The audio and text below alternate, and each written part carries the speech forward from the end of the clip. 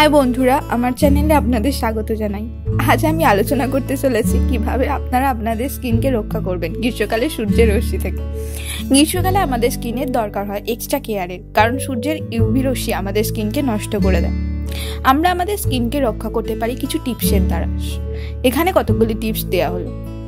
প্রচুর পরিমাণে জল পান করুন। প্রথমত আমাদের প্রচুর পরিমাণে জল পান করা উচিত গ্রীষ্মকালে। কারণ ঘামের সাহায্যে আমাদের দেহে প্রচুর পরিমাণ জল বাইরে চলে আসে। সুতরাং চেষ্টা করুন দিনে বারো থেকে চোদ্দ গ্লাস পর্যন্ত জল পান করার। কলা ও দুধের মিশ্রণ। একটি কলা নিয়ে দুধের সাথে ভালো করে মিশিয়ে নিন। তারপর স্কিনের উপর অ্যাপ্লাই করুন। পনেরো থেকে কুড়ি মিনিট পর এটিকে ধুয়ে ফেলুন। আমাদের গ্লোয়িং স্কিন পাওয়ার জন্য কাজ করে। শসা এবং দইয়ের মিশ্রণ। স্মুথ এবং গ্লোয়িং স্কিন পাওয়ার জন্য শসার সাথে দই মেশান এবং এটি স্কিনের উপর অ্যাপ্লাই করুন। দশ থেকে পনেরো মিনিট পর এটিকে ঠান্ডা জলের সাহায্যে ধুয়ে ফেলুন।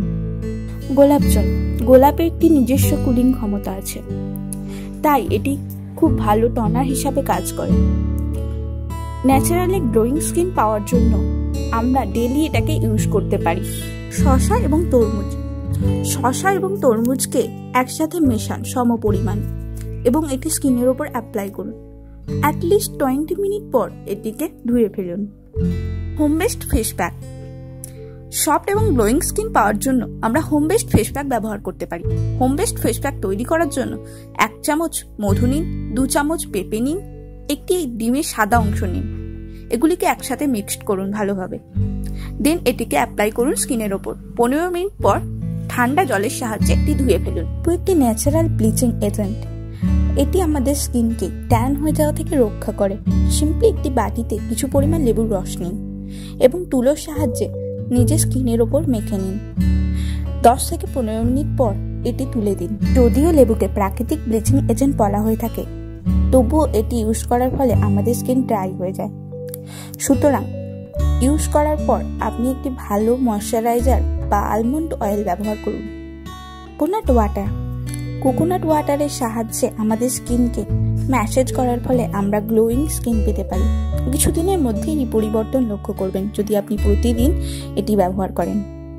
গ্রীষ্মকালে আমাদের ত্বককে সুস্থ রাখতে আমরা হোম বেস স্ক্রাব ব্যবহার করতে পারি। এটি তৈরি করতে আমরা চার থেকে পাঁচ টেবিল চামচ বেসন নেব এ পিঞ্চ অফ হলদি নেব, পাঁচ থেকে ছয় ড্রপ গোলাপ জল নেব এবং দুধের সাথে এটিকে মিক্সড করব। দেন এটিকে আমাদের স্কিনের উপর অ্যাপ্লাই করব। দশ থেকে পনেরো মিনিট পর এটিকে তুলে দেব। যখন বাড়ির বাইরে বেরোবেন গ্রীষ্মকালে, সানগ্লাস ব্যবহার করতে ভুলবেন না।